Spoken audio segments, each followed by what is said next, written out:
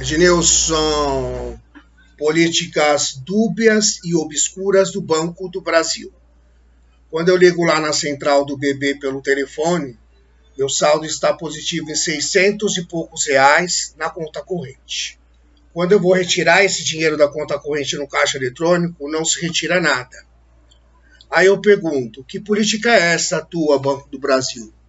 Com duas caras, com duas faces e com vários disfarces já não bastasse a conversa horrorosa, do qual eu denunciei na delegacia o ano passado, isso em agosto, e até agora não deu em nada. O que vocês estão fazendo, coisa do governo do estado de São Paulo, como eu acho que ganha alguma coisa por detrás de tudo isso, não é?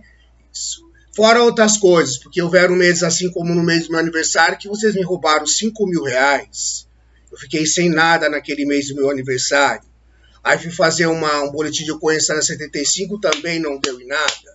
E de lá para cá vocês vieram fazendo várias coisas. Estão aí meus olerites, estão aí meus extratos, e está aí a minha vida para provar tudo isso, não é? Então essas coisas obscuras do Banco do Brasil já estão assim comigo, ó. Isso, ó.